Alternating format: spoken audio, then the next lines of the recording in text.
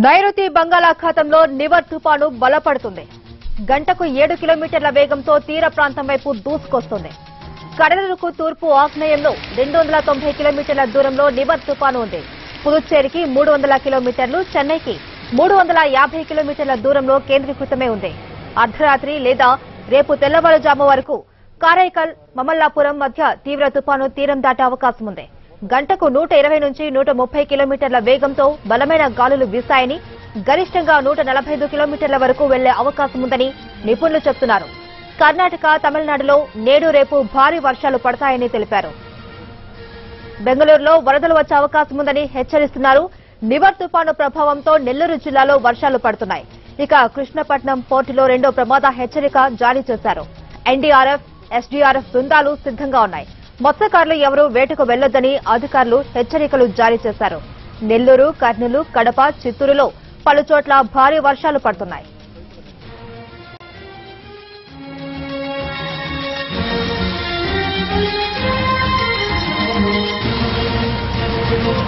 నెల్లూరు సముద్ర తీరంలో నివర్ తుఫాన్ ఎఫెక్ట్ భయంకరంగా ఉంది. మైపాడు కోడూరు బీచ్లో సముద్రపు అలలు భారీ ఎత్తున ఎగిసి పడుతున్నాయి తీరం ఇరవై మీటర్లు ముందుకు రావడంతో అధికారులు అప్రమత్తమయ్యారు. ఇప్పటికే రెండు వేల మందిని తీర ప్రాంతాల నుంచి తరలించారు. ప్రస్తుతం నెల్లూరు పరిస్థితుల గురించి మరిన్ని వివరాలు మా ప్రతినిధి శ్రీకాంత్ అందిస్తారు. శ్రీకాంత్.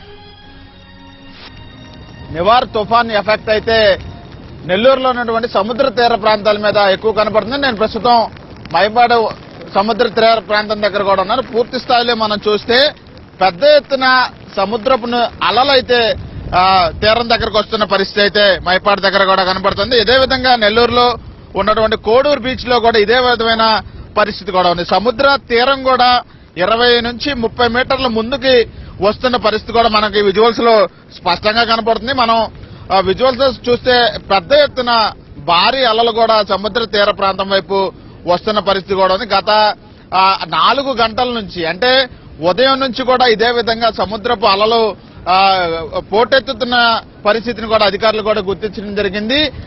ఈ నేపథ్యంలోనే ఈ ఈ రోజు రాత్రి కానీ రేపు తెల్లవారుజాము ఈ సమయం మధ్యలో నివార్ తుఫాన్ అనేది తీరం దాటే అవకాశాలు ఉన్నట్టుగా అధికారులు గుర్తించారు. ఇప్పటికే మత్స్యకారులను ఎవరిని కూడా వేటకెళ్ళొద్దని కూడా స్పష్టంగా చెప్పారు. ఆల్రెడీ సముద్రంలోకి వేటకెళ్ళిన వాళ్ళందరినీ కూడా వెనక్కి పిలిపించేశారు. అందరినీ ఆ, బోట్లన్నీ కూడా నిలిపివేసిన పరిస్థితి అయితే నెల్లూరు జిల్లాలో ఉన్నటువంటి సముద్ర తీర ప్రాంతాల్లో ఉంది. ఇక సముద్ర తీర ప్రాంతాల్లో ఉన్నటువంటి రెండు వేల మందిని కూడా సురక్షిత ప్రాంతాలకు ఇప్పటికి అధికారులు తరలించారు. పో- పాకల్లో అదేవిధంగా గుడిసెల్లో నివాసాల్లో ఉన్న వాళ్ళని అక్కడి నుంచి వేరే షెల్టర్ జోన్లకు కూడా తరలిస్తున్నట్టుగా ఇప్పటికే జిల్లా యంత్రాంగం కూడా ప్రకటించింది. ఇక రేపటికి అంటే నివార్ తుఫాన్ అనేది తీరం దాటిన తర్వాత పూర్తి స్థాయిలో వర్షాలు పడటం కానీ చెట్లు కూలటం కానీ ఈదురు గాలులు కూడా బలమైన గాలులు వంద నుంచి నూట యాభై కిలోమీటర్ల వేగంతో గాలులు వీచే అవకాశాలు ఉన్నాయి. కానీ ఆ సమయంలో చెట్లు విరిగిపడే అవకాశాలు ఉంటాయి. విద్యుత్ సరఫరాకు అంతరాయం వస్తుంది కాబట్టి పూర్తి స్థాయిలో వాటినన్నింటినీ పునరుద్ధరణకు కూడా సిబ్బందిని సిద్ధం చేసుకున్నారు. ఇక సముద్ర తీర ప్రాంతాల మీద ప్రధానంగా కూడా నెల్లూరు జిల్లా యంత్రాంగం ఫోకస్ పెట్టింది. మనం విజువల్స్లో చూస్తే ఒకసారి సముద్రపు అలలు కూడా మనం ఎక్కడి దాకైతే ఉన్నాము. అక్కడ వరకు కూడా సముద్రపు అలలు వస్తున్న పరిస్థితి కూడా ఉంది. అవి కూడా చాలా వేగంగా వస్తున్న పరిస్థితి కూడా ఉన్న నేపథ్యంలో స్థానాలకి ఎవరిని కూడా బీచ్ల్లో బీచుల్లో పర్యాటకులను కూడా రాకుండా కూడా నిలువరిస్తున్న పరిస్థితి అయితే నెల్లూరు జిల్లా వ్యాప్తంగా ఉంది. సముద్రపు అలలు కూడా చాలా ఉధృతంగా వస్తున్నాయి. చాలా బలంగా రాకాసి అలలని కూడా వీటిని పిలుస్తారు. ఇక అందుకనే పోలీసు పహారాతో పాటుగా ఎన్డీఆర్ఎఫ్ ఎస్డీఆర్ఎఫ్ బృందాలన్నీ కూడా నెల్లూరు జిల్లాలో ప్రధానమైనటువంటి కావలి ప్రాంతం అదేవిధంగా కోడూరు ప్రాంతాల్లో కూడా వీళ్ళని ఏర్పాటు చేయడం కూడా జరిగింది. వీళ్ళతో పాటుగా గజేతకాలను కూడా పూర్తి స్థాయిలో ఈ తీర ప్రాంతం అంతా కూడా పర్యటిస్తున్నారు. వాళ్ళతో ఎక్కడైనా ఎవరైనా చెప్పకుండా పోలీసులకి చెప్పకుండా కానీ ఈ పర్యాటక ప్రాంతంలో స్నానాలకు అని చెప్పి ఎవరైనా వెళ్తారన్న ఉద్దేశంతో మొత్తం నెల్లూరు జిల్లాలో ఉన్నటువంటి సముద్ర తీర ప్రాంతాల మీద అయితే దృష్టి పెట్టారు. అలల తాకిడికి సంబంధించి కూడా ఇవన్నీ కూడా మరింత ఉధృతయ్యే అవకాశాలు ఉన్నాయి కాబట్టి తుఫాను తీరం దాటే వరకు కూడా ఈ సముద్ర ప్రాంతాల మీద పూర్తి స్థాయిలో ఫోకస్ పెట్టి రక్షణ చర్యలను అయితే ముందస్తుగా నెల్లూరు జిల్లా యంత్రాంగం అంతా చేపట్టిన పరిస్థితి అయితే నెల్లూరులో ఉంది. కెమెరా పర్సన్ లక్ష్మణ్తో శ్రీకాంత్ ఎన్టీవీ నెల్లూరు నుంచి.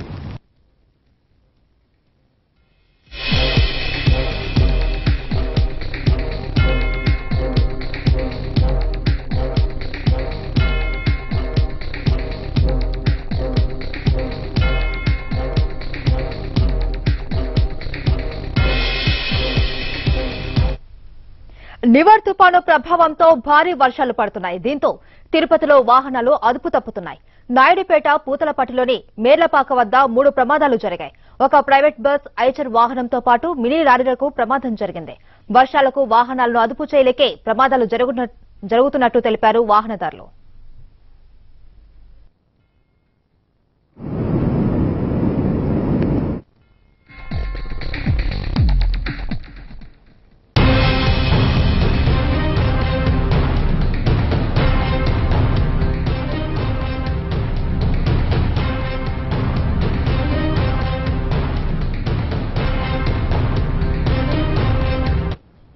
నివర్ తుఫాన్ ఎఫెక్ట్ చిత్తూరు జిల్లా మీద చాలా తీవ్ర స్థాయిలో ఉందని చెప్పుకోవచ్చు. ముఖ్యంగా జాతీయ రహదారుల వెంట వచ్చేటువంటి వాహనాలందరూ వాహనదారులందరూ కూడా తీవ్రమైనటువంటి ఇబ్బందులు పడుతున్నారు. ఇదే సమయంలో శ్రీకాళహస్తికి సమీపంలో ఉన్నటువంటి మేర్లపాక వద్ద ఈరోజు తెల్లవారుజామున పెను ప్రమాదం సంభవించిందని చెప్పుకోవచ్చు. అయితే త్రుటిలో తప్పిందనే చెప్పుకోవాలి. లేదంటే చాలా మంది ప్రాణాలు కోల్పోవాల్సినటువంటి పరిస్థితి ఏర్పడేది. ఏదైతే తెల్లవారుజామున ఏదైతే మేర్లపాక ను- మేర్లపాక నుంచి ఏదైతే శ్రీకాళహస్తి నుంచి నేరుగా తిరుపతికి వెళ్ళేటువంటి రోడ్డు మార్గంలో ఈ ఘటన చోటు చేసుకుందని చెప్పుకోవచ్చు. ముఖ్యంగా మొదట ఈచర్ వాహనం ఏదైతే ఈ క్రాష్ సమీపంలో తిరుగుతున్న వేళ అటుగా వచ్చినటువంటి మరొక వాహనం దాన్ని కంట్రోల్ చేయలేనటువంటి పరిస్థితుల్లో ఎదురుగా వస్తున్నటువంటి గాలుల తీవ్రతకు కావచ్చు పక్కనే ఉన్నటువంటి వర్షానికి తట్టుకోలేనటువంటి పరిస్థితుల్లో మొత్తం కూడా రెండు వాహనాలు కూడా కింద పడిపోయినటువంటి పరిస్థితి. దాని వెనకాలే వస్తున్నటువంటి సిసిఆర్ ట్రావెల్స్ మనం ఏదైతే చూస్తున్నటువంటి ఈ యొక్క బస్సు అనేది కూడా నేరుగా ఆ యొక్క వా- ఈ ఈచర్ వాహనాన్ని ఢీకొట్టడం కూడా జరిగింది. ఢీకొట్టి కూడా వెంటనే కంట్రోల్ చేయడం కూడా జరిగింది.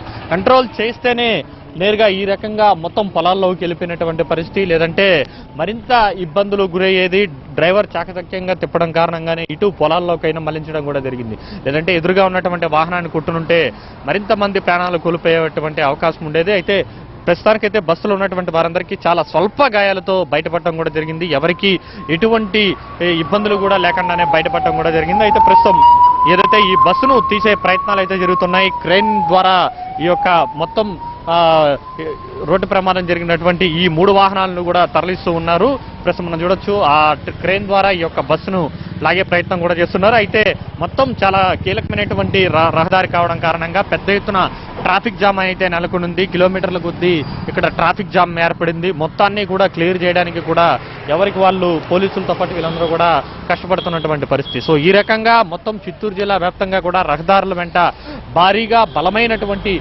గాలులు అనేది వీస్తున్నాయి. దాని కారణంగా తీవ్రమైనటువంటి ఇబ్బందులను వాహనదారులు కూడా పడుతున్నారన్న దానికి ప్రత్యక్ష సాక్ష్యంగా నిలుస్తుంది. ఈరోజు తెల్లవారుజామునే ఇటువంటి పరిస్థితి ఉంటే తిరిగి ఈరోజు సాయంత్రానికి గాలుల తీవ్రత అనేది జాతీయ రహదారుల వెంట కావచ్చు రహదారుల వెంట కావచ్చు. చాలా తీవ్ర స్థాయిలోనే అవకాశం ఉంది.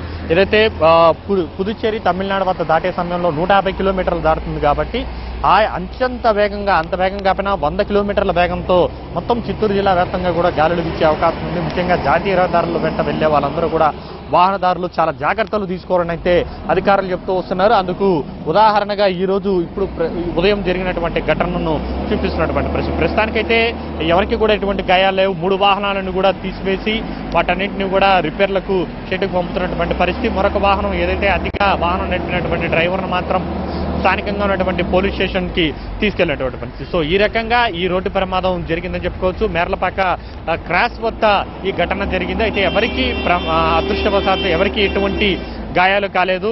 భారీగా కురుస్తున్నటువంటి వర్షానికి తోడు వస్తున్నటువంటి పెనుగాలుల తీవ్రతకు కంట్రోల్ చేయలేకుండా ఒక డ్రైవర్ చేసినటువంటి తప్పిదానికి మిగతా ఇద్దరు కూడా ఒక బస్సు ఏమో లోపలికి నేరుగా పొలంలోకి వెళ్ళిపోతే మరొక వాహనమేమో ఈచర్ వాహనమేమో బోల్తా పడి పక్కకు పడిపోయినటువంటి పరిస్థితి. కెమెరా పర్సన్ సెంచైతో కార్తీక్ ఎన్టీవీ శ్రీకాళహస్తి నుండి.